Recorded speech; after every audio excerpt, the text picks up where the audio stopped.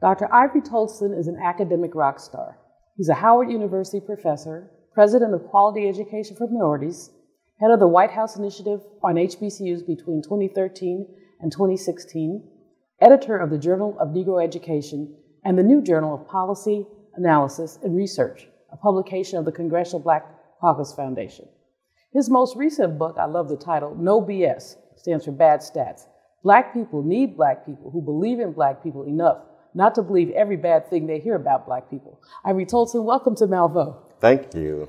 I love this here. book. I love. I mean, I just I love the title. Yeah. It's just audacious. It's bold. Uh-huh. I love the premise. Uh, yeah. All the bad statistics. The statistic right. you're best known for debunking is the lie that there were more black people, black men particularly, in prison than right. in college. Yes. How mm-hmm. did that myth get started, and how did you debunk it? Yeah.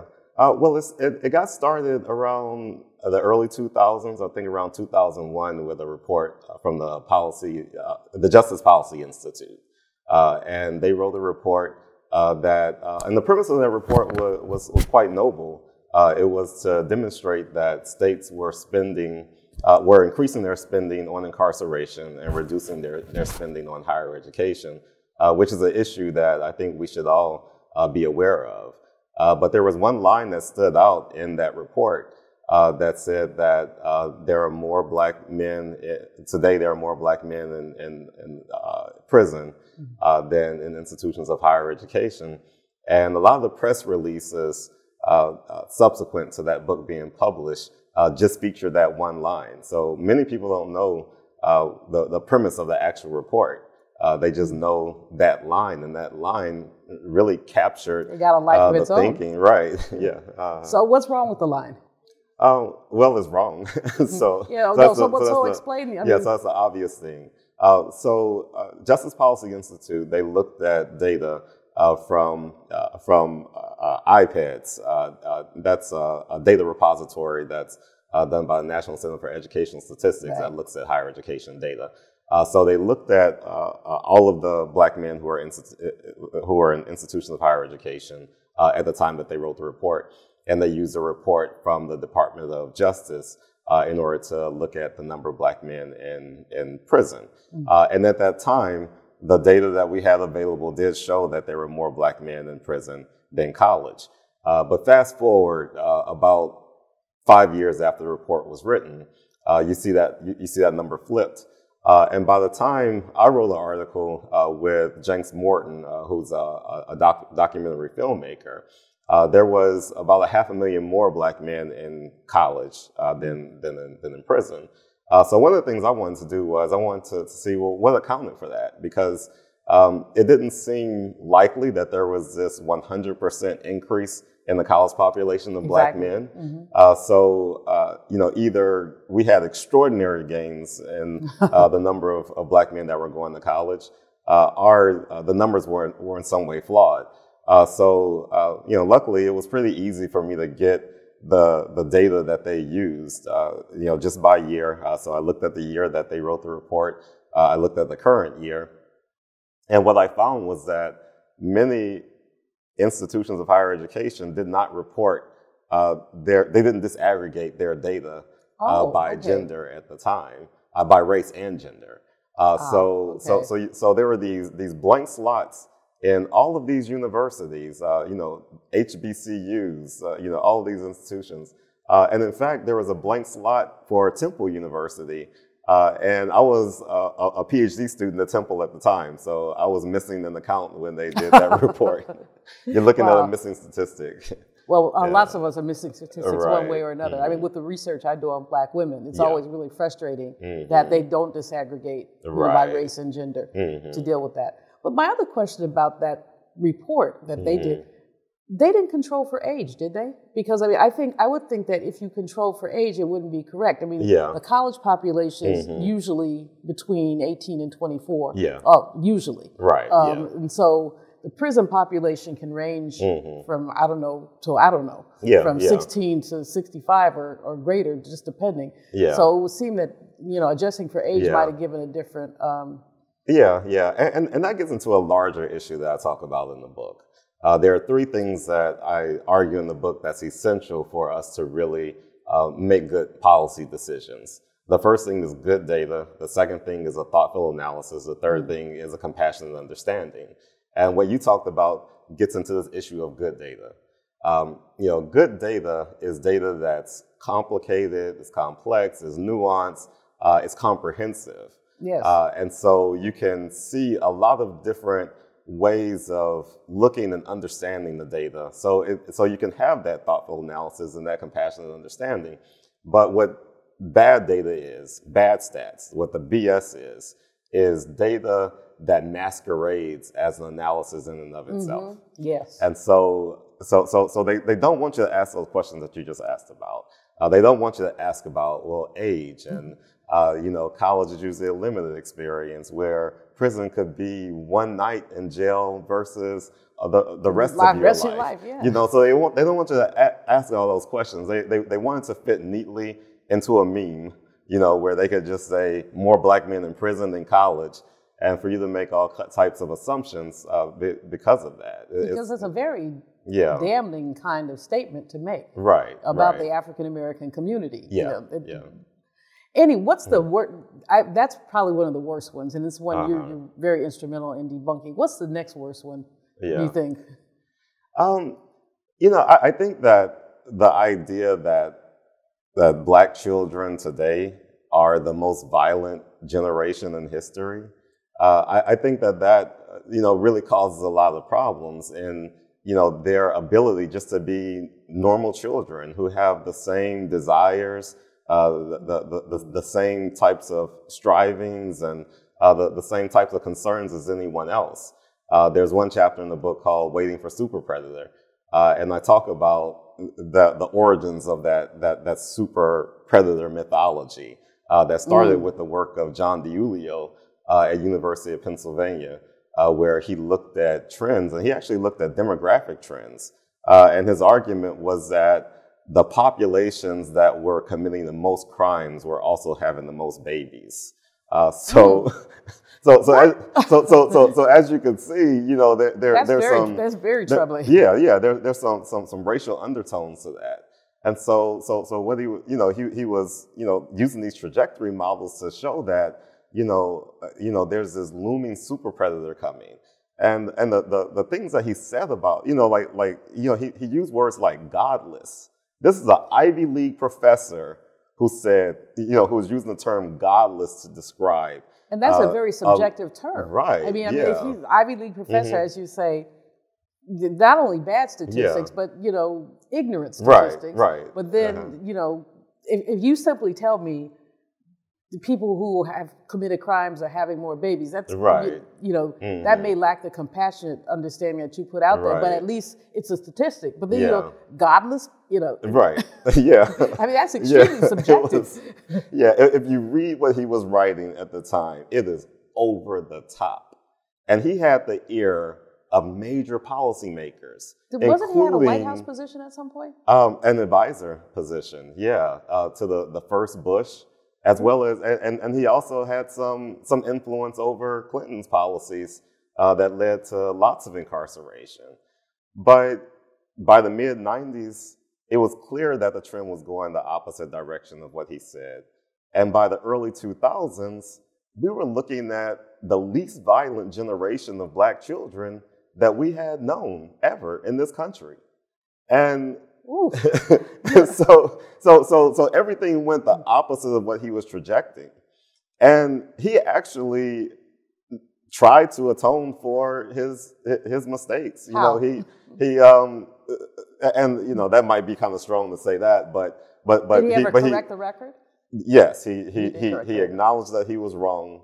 Um, and there was a book that he wrote. Um, uh, it, it was it was about how conservative Republicans should connect to their faith in order to um, better understand people who do bad things. So it was a completely different turn, completely, completely, com, you know, just just a, a, a, a, 180 degree reversal from his previous positions, uh, because his previous positions was lock them up, lock them early, try juveniles as adults, and so he completely flipped on that.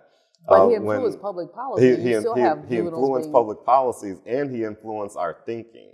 He, Yeah. he, he, he influenced, uh, and, and, and, you know, there was others too. There was, a, there was another one named Fox, but it was, a, it was, it was a, a bunch of them during that time. You know, this was during the time of the, the crack ep- epidemic. You know, you had Crips and Bloods and drive-by shootings and people getting jacked for starter jackets and all this kind we of stuff. We still have some of that. And so, I mean- yeah, we still, uh, yeah, yeah, we still have some of that. But Um, but but the but the thinking issue is important Mhm. because Yeah. I mean one of the things is you said our children are not allowed to be children, Right. And it also affects the way that so-called law enforcement people treat them. Yeah, Because yeah. if you believe these children are not children, then you can take Exactly. a 15 year old girl and drag her by her dreads, or you can Yeah, yeah. see a nine year or 12 year old boy and Mm-hmm. shoot him without even asking any questions. Right. Yeah. Yeah. We're still waiting for Super Predator. You know, we, we, we, we, we still remember that period of time and we remember people with a lot of influence telling us that it was going to get worse, not better. So when it actually did get better, We didn't th- we, did, we didn't comprehend it. Adults didn't comprehend it. Anybody with a memory of the 80s and 90s didn't, com- didn't comprehend it. And these children were just born then. They're confused. Right. They're Like doing why, the are right you, thing. like, why are you so scared of us? And they're doing Yeah. the right thing and they're being treated like they're doing the wrong Yeah, thing. yeah. yeah. But what you know, white people love to believe um, the bad statistics, right. the BS. Mhm. Yeah, But a lot of black people do too. they do. Uh, why? Yeah, why are we so eager to believe negative stuff about us? Yeah, we are very susceptible to to negative statistics, uh, and in, in fact, um, I, remember a young black man. He he um, he he was candid about the fact that when he when, when he reads something that's bad about black people and is written by you know Ivy League professor or whatever, he just believes it automatically.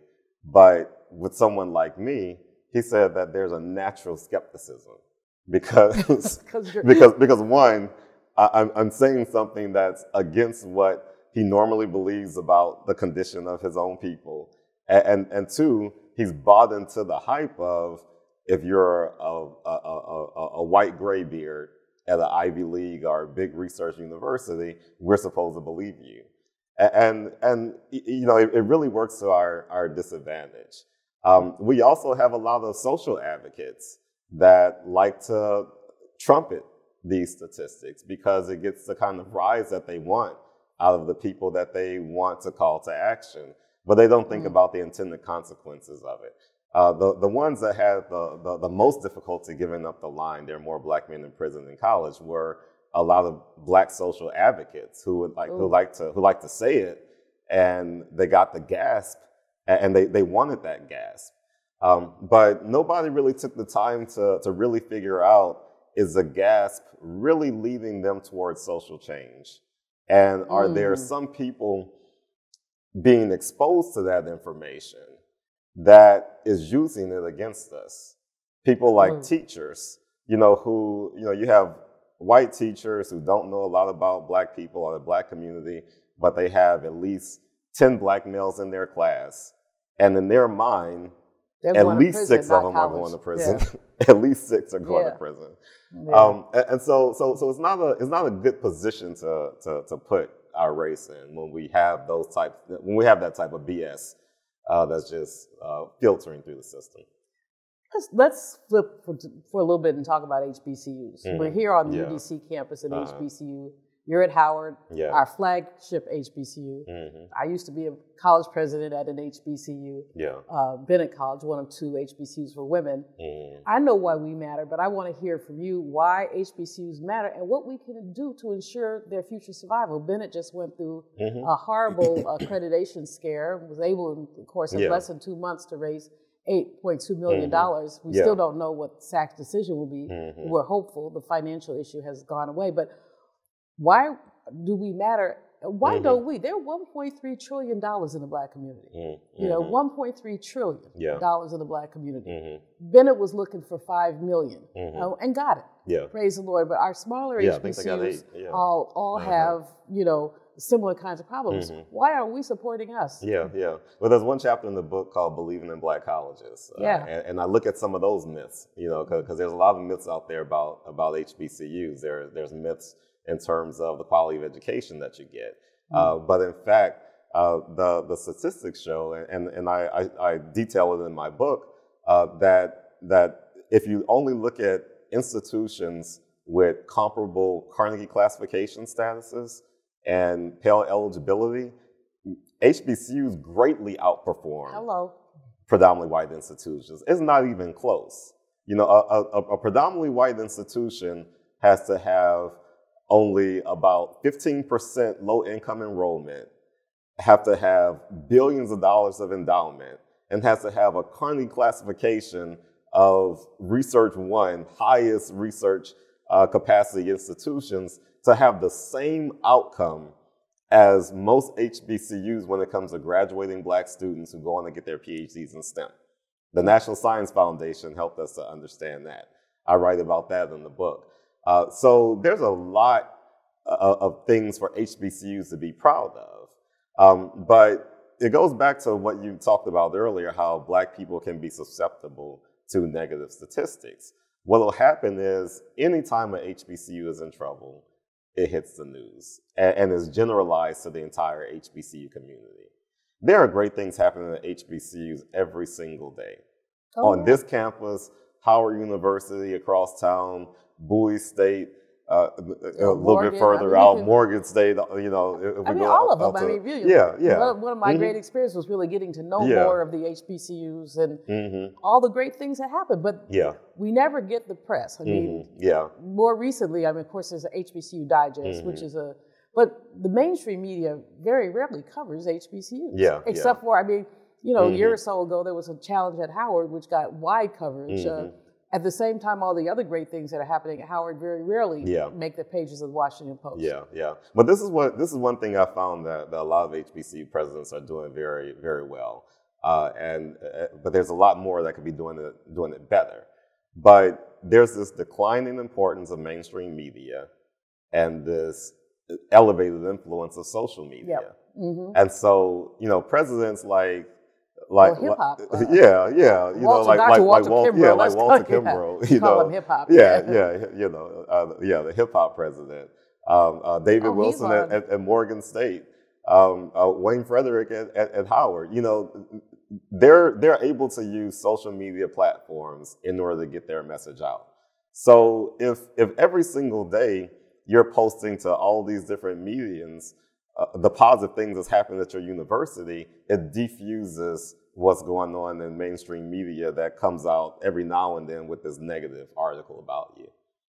But the, so everybody's done on social media and Mhm. public perception. I'm Yeah. concerned. I mean, I'm still concerned about mainstream media Mhm. because I'm concerned about the issue of public perceptions. Yeah. I mean, I don't Mhm. really care. Well, I shouldn't say I don't care, but whether white folks love HBCUs or not hmm is in, I'm indifferent to that. Yeah, yeah. But there are many of us who do not love Mhm. HBCUs. Yeah, And yeah, that, yeah. you know, I mean, I have a friend who, you know, when I was president of Bennett, I Mhm. rec- you're recruiting, and she said, "Oh, I wouldn't send my daughter to an HBCU." I'm like, what's Mhm. wrong with you? Yeah, Or what yeah. kind of self hate are you simmering in? Mhm. You know, and all the myths that you brought up in your book Yeah. about not having a good quality education Yeah, uh, yeah. were the, the kind of things that she shared, and I was able then, Mhm. you know, not having had the benefit of your book, but you know, to just try to, you know, infuse some knowledge to that. But you know, Yeah, so I'm yeah. I'm concerned with the ma- the Yeah. way the mainstream media. Yeah, so we, yeah, we do got we have we have to get better data out there.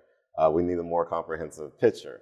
Uh, right now, we tend to think of predominantly white institutions as the best predominantly white institutions. You know, we, we, we think we think that every predominantly white institution uh, is a Georgetown University or a Harvard, but there are a whole lot more, you know, Towson states and Nicholls states.